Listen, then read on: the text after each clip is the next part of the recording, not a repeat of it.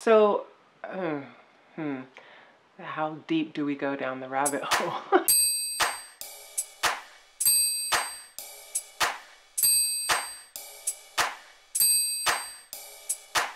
um, my name is Kalia. Uh, I am a college educator. I teach history particularly. Uh, my name's Rob Moore. Uh, I run the Stash Spot part time. Um, old school hip hop and comic books. Something nerdy about me. Um, I, how do you pick just one? just one. I collect comic books. Uh, I love Star Trek, so I'm a Trekkie.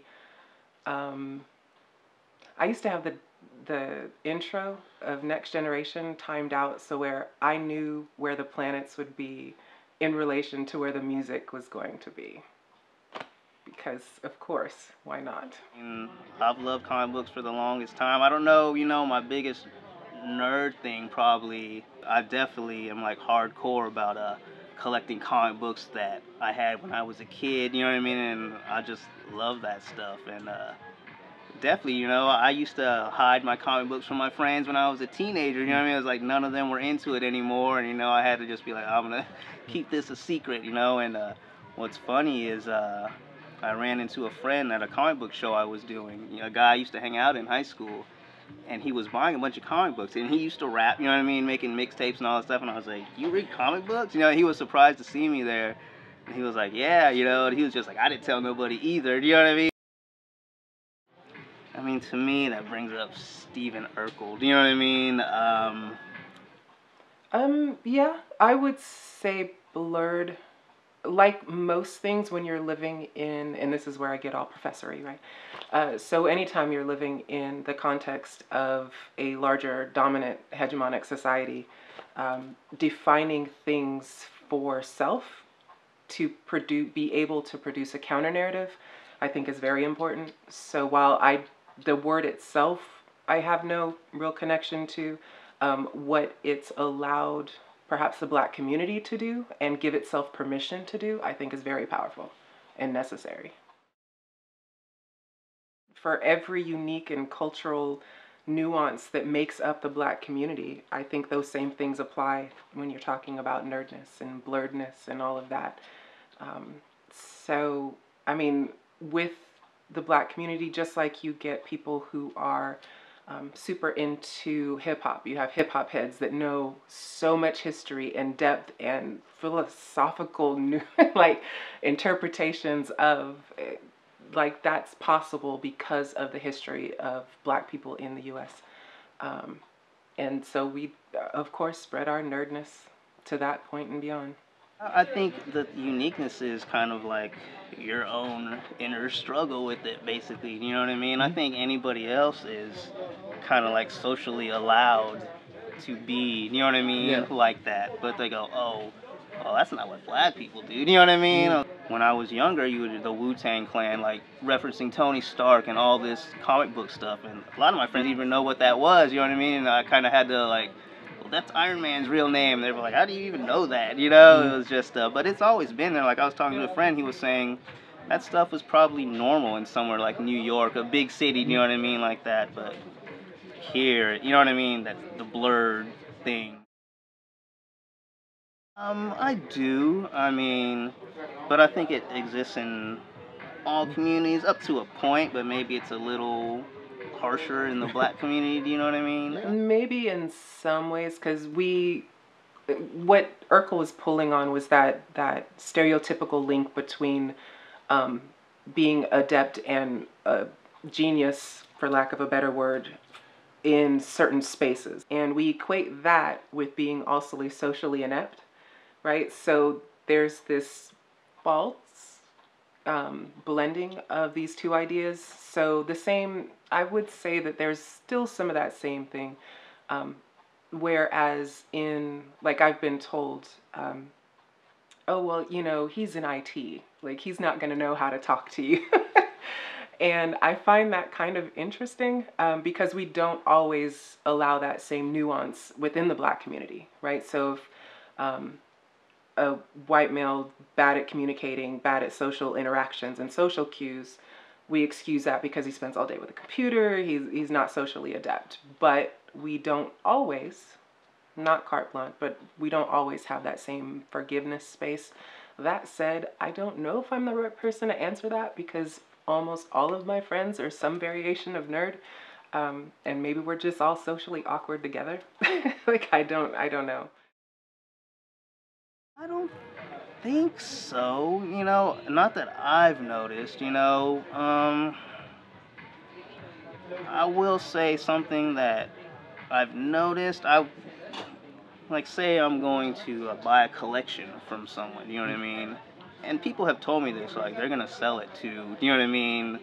The white guy, the old white guy. You know what I mean? And I have experienced that, but I don't. I couldn't tell you if it was because they offered me a, you know, a higher price. You know what I mean? I just knew in the end I didn't get it. You know what I mm-hmm. mean? And I think people. I think maybe there's a. Oh, I, I trust this old white guy. You know what I mean? When someone's selling their collection, but I mean, I've heard of that happening. I couldn't say it's happened to me for sure, but I have had that end result of me not getting it, and that's always been in the back of my head. But that's probably about to the extent, you know what I mean? I, I wasn't even sure if that was what was going on, you know? I mean, to me, I was new in this whole, you know, the comic book thing as far as the established community, and I think everyone is really accepting of me. I think I kind of went into it like thinking, I bet all these guys think it's a big competition, you know what I mean? And they want to like, well, let's shove this new guy out. But yeah, everything was good. Everything was nice. Everyone was accepting of me. I got, I made a lot of new friends and stuff. It was not as bad as I thought it would be, you know, for me not hanging out or associating with these people, you know what I mean, since, I don't know, 10 years ago. And yeah, everyone was accepting. Yeah, I, I liked it. Yeah, I had a good experience with it. Um, there is, uh, I wanted to play D&D Dungeons and Dragons forever, since I was a kid, right? Um, never really knew quite what it was, but I heard about it and was interested. Um, and for reasons within the, as you may be aware, the sometimes hyper-religious nature of black households, there was no D&D in the house, like just none at all. Um, what that meant for me getting older, and now I'm a grown woman, holla, um, now that I'm grown, I started looking for a place to play, uh, to play D&D. And I had read about it, you know, because nerds. Um, so I read about it, but what I found every time I encountered a space that I might want to go into, it was very white male dominated. The same dynamics that exist in the larger social world, nerdness just becomes a microcosm for that. Um, and I did not feel comfortable, nor did I feel welcomed by um, these white male dominated spaces. And I wasn't going to force myself into those spaces because that I just I have so many other things to fight. I did not want that fight. Um, so I would say a lot of the larger social issues that exist um, surrounding racial dynamics they exist in the nerd world too. Um, the misogyny, the racism, like all of that's still there. It just happens related to nerd stuff. Um, I, I don't know if it's a pressure. I mean, it may be something like a pressure, but I really feel internally um, like if they're um, if they're representative of some sort of not white not whiteness i do feel this internal pressure to support like most of the comics that i buy are black central characters um, whether they be one of the major ones like marvel dc or an indie can we still call like image indie? I think so, maybe. Um, boom, stuff like that. But um, I definitely feel an internal pressure and I do get very, very, very disappointed when I don't gravitate to their storyline or something like um, if I can bring up a specific name. Um, the when I think it was Marvel released America, right? She was this Latina like um, lesbian, like all in one diverse, right? This non heteronormative, non male character. And I really, I was like, man, awesome. Let me go check out the comic, right? I was so disappointed. I was disappointed by the art. Sorry, artists. Um, but it just didn't feel like it had absorbed as much of the effort that they put into other um, characters and other artist artwork and storylines and all of that. So um, in those cases, I feel like I should because it's you get so happy when you see something that's not normative. Um, you really at least for me, I really want to be able to support and show that there is this network of support for these non normative characters. Um, and so when they don't live up to what I'm hoping for, um, it's disappointing.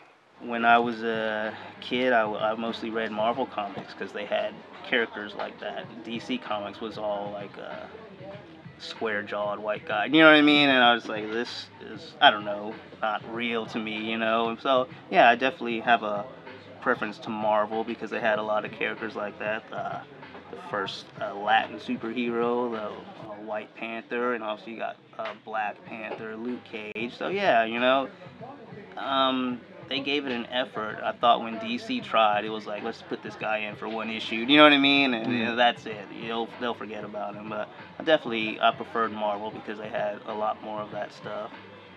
I don't know if it was kind of like subconsciously. You know, I didn't go like, I want to read Marvel because they got minority characters, but that was definitely a part of it. It seemed more real to me.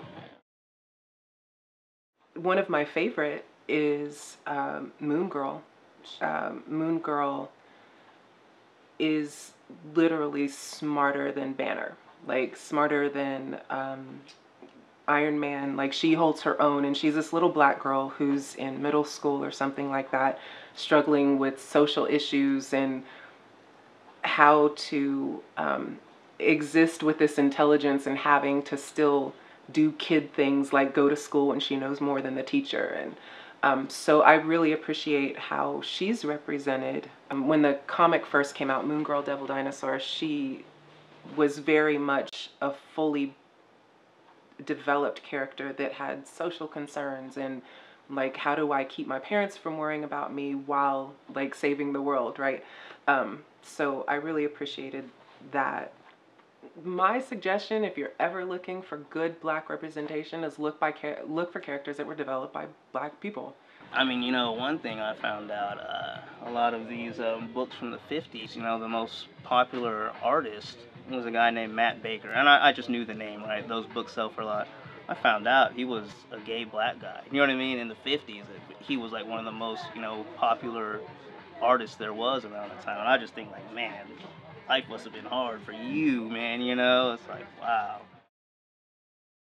I have a book, um, Black Comix Returns, which has every black character I could ever think of um, that's ever been, I won't say ever, ever been created, but it's a really good, excellent compilation of if you're wondering where to start with black representation in comics and sci-fi and stuff, uh, Comix Returns would be um, Black Comix Returns would be a good one for that.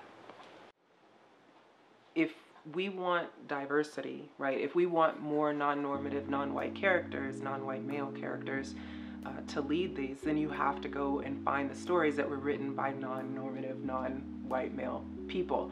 Um, they're not just going to magically show up if we remake Charmed with black people now instead of white people. Like that's not how um, diversity, I think, should work.